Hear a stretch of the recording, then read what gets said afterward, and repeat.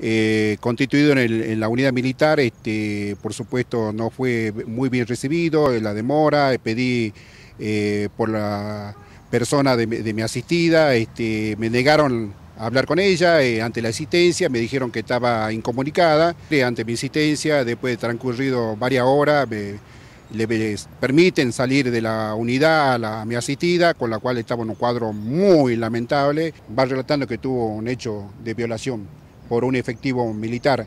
Eh, los padres no tenían conocimiento, este, realmente tuve que formular la denuncia, formulé la denuncia en el mes de noviembre, eh, seguían la intimidación por parte del ejército, eh, por los responsables de la unidad GAN 5, eh, para que levante la denuncia. Era continuo el asedio, la presión psicológica, eh, que manifestaron que eran militares y que todas las cuestiones se resolvían por legislaciones militares.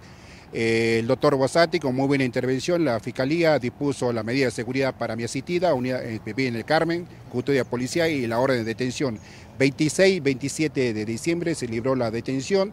que tenía que ser operativo esa detención era la policía de la provincia de Huayco, quien se traerá la responsable a la unidad militar y pide autorización, eso es lo que nos llama la atención, al jefe, teniente coronel Vanega, para que proceda a la detención. Lo niega, hace caso omiso, obstaculiza la justicia, desobedece orden judicial, este, no entrega, no permite la detención del denunciado.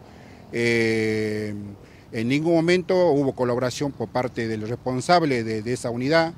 Eh, con lo cual hasta la fecha siguen en libertad, no saben dónde está, no informan que, está en, maniobra, el denunciado sigue en libertad, eh, el ejército argentino a través de los responsables del regimiento de Montaña 5 eh, no colabora lo más mínimo y son obstaculizadores del accionar de la justicia.